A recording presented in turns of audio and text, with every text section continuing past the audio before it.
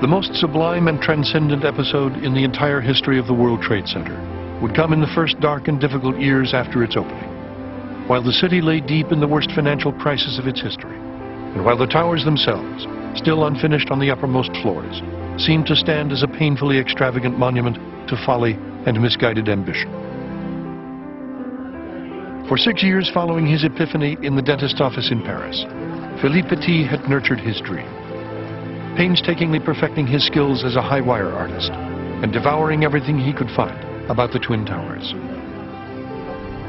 In early January 1974, he flew to New York City for the first time in his life to put in motion the next elaborate phase of the illegal escapade he now called simply the coup. He was 24 years old. When I came to New York, uh, it was winter, and I had a little journal or a little whatever. I, I wrote my thoughts, and I thought uh, it's old, it's dirty, it's full of skyscrapers. I love it. That was my first little entry, the first day I saw New York. I remember my first encounter with the Twin Towers. I uh, got out of the subway, was a long subway ride, and out of the darkness I emerged at the base of, of one of the tower and look up and like a slap in the face, I saw that my dream was impossible. I mean, it's, it was right there in aluminum and glass and, and steel and concrete behind it. It was right there. It said impossible. And yet, somehow, I actually find myself trespassing over the plaza, still under construction, and sneaking in one of the tower and climbing and climbing inside the building until I find myself very close to the top and until there were no more windows, no more partitions, there were just the skeleton, the beautiful steel columns and beams of the building. And uh, then I emerged, but there were no gates, there were nothing to protect you from the devouring void. And I turned and I looked, and the second I look at the other tower, another time the word impossible etch itself inside me. But somehow I went back down and looked again from the street, and there I realized it's impossible, but I'll do it. And there was the beginning of a second wave of work, the, the real work, the work of getting into the building, not into uh, archaeological uh, findings or architectural magazines, but this time it was the monster, the beast, getting into the belly of the beast every day, which I did, hiding myself, disguising myself, sneaking, being caught, abandoning the project, going back to it for eight months, eight months in New York. And the towers, the more I got to know them, the more they become an ally. That's why when I say I conquered them, probably it's, it's wrong. I married them, certainly. But they became my friends. It was 1974. And remember now, I had opened the tower at the end of 70, and I wanted public relations. I needed publicity. I had at least 10 million, 12 million square feet of space. And one day, a young journalist, he said he was, named Philippe Petit from France, showed up in my office with two photographer friends of his. These were his buddies. And, and he said, you know, I'd like to do an article on the World Trade Center. And I said, welcome, I, that's great. And naturally, I never asked, show me your credentials. And later on, I recognized that the subject always got back to how do those towers move in the wind? After eight months of false starts, last-minute reversals, heartbreaking postponements, and maddening delays, the hour of the coup finally arrived.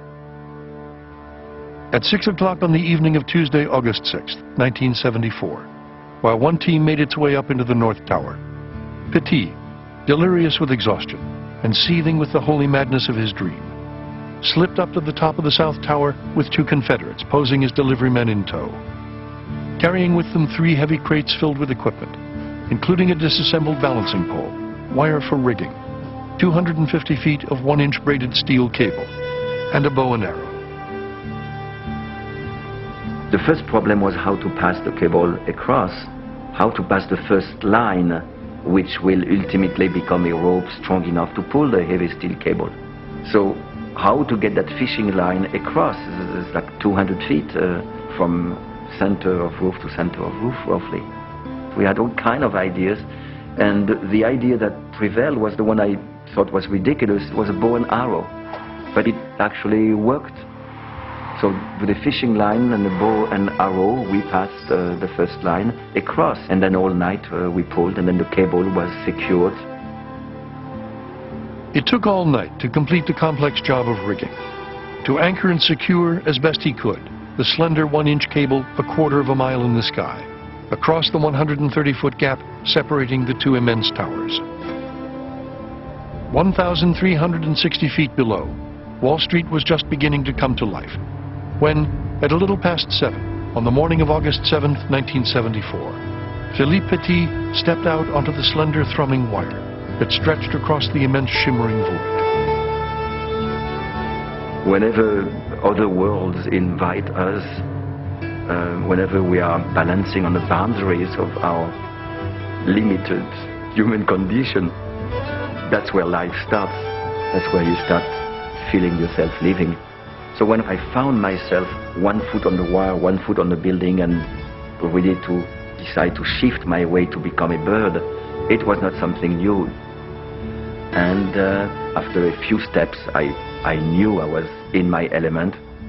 I didn't even took the full length of the crossing to get to know the rigging and the vibration of the building and the wire. And then very slowly as I walked, I was overwhelmed by a sense of easiness, a sense of, uh, of simplicity. And actually I can be seen on the first pictures smiling, smiling probably out of disbelief. It's so easy after all those years and months of uh, ups and downs and detours, uh, victories and disasters. Finally, I was carrying my life on a path that was the simplest, the most beautiful, and the easiest. Down on the street below, thousands of people on their way into work looked up in wonder and disbelief, transfixed by the sight of the tiny figure walking on air between the two towers. Somehow uh, I found myself spending 45 minutes and doing eight crossings. There were thousands of people, at some point 100,000 people. And actually, at some point, during these different crossings, I actually could hear my audience a quarter of a mile below and I could hear them punctuating what I was doing on the wire. Let's say if I would uh, take a bow on one leg or salute the horizon or kneel in front of the tower to say hello to the tower, I would hear uh, almost with, a, with an echo the people cheering, screaming, applauding. I had in my car a radio that connected me to the police desk at the World Trade Center. And on the day in question, the light went on. And the patrolman at the police desk said, Mr. T, there's a problem in the World Trade Center. I said, what's the problem? He said, there's a guy walking on a tightrope between the two towers. What should we do? And I couldn't think of anything else. I said, don't let him fall off. And I hung up.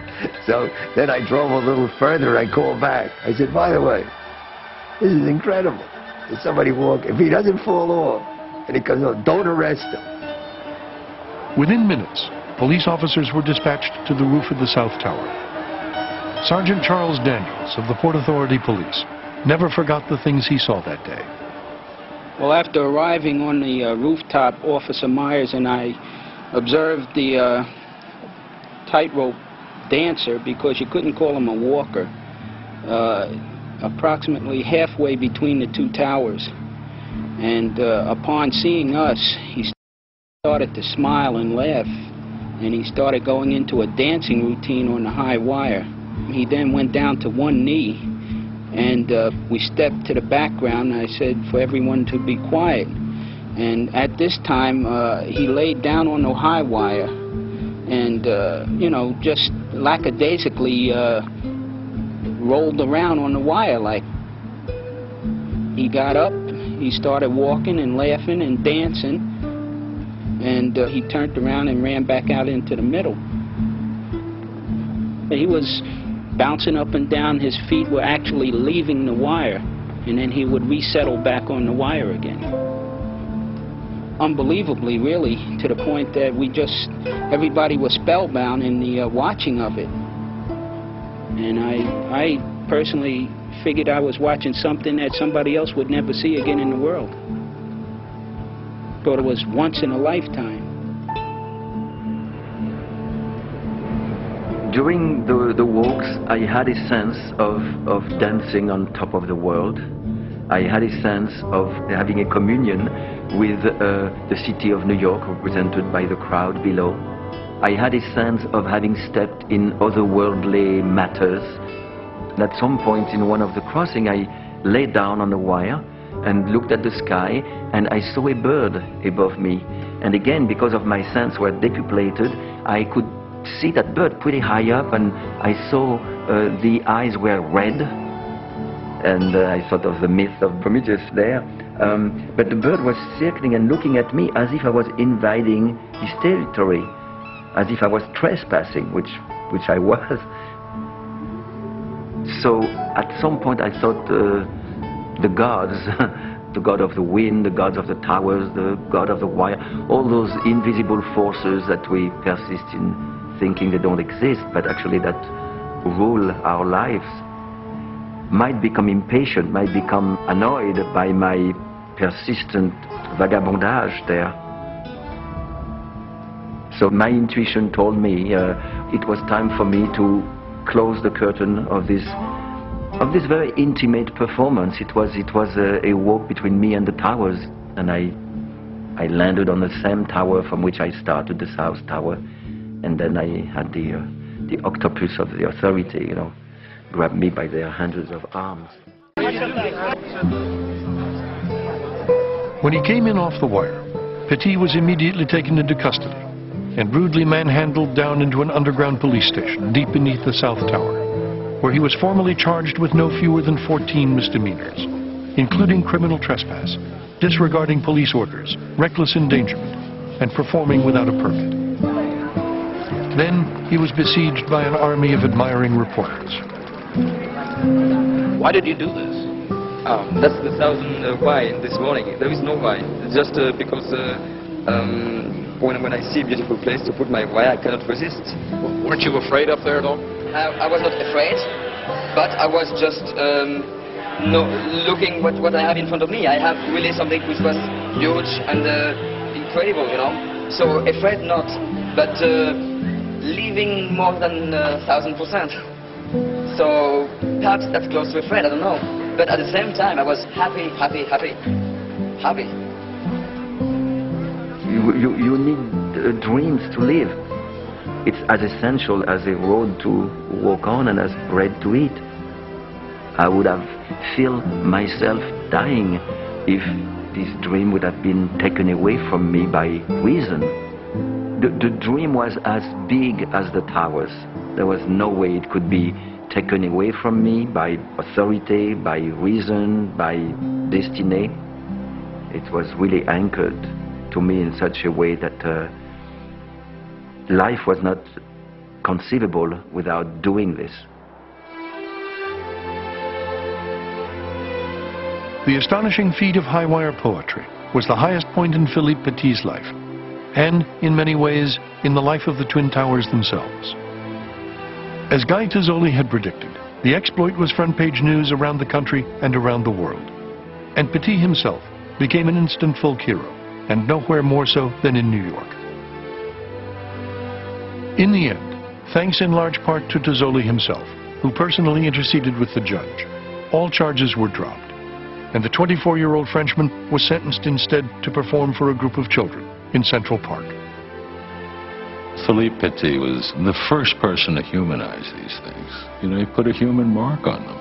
He said, uh, I don't care about your architect and your plans for world trade.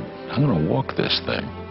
And there he did, doing this amazing feat in which the whole city applauded. Because, first of all, it took guts and skill. But also it took these two buildings and he conquered them in some astonishing way that had the whole town cheering. But it was an astonishing...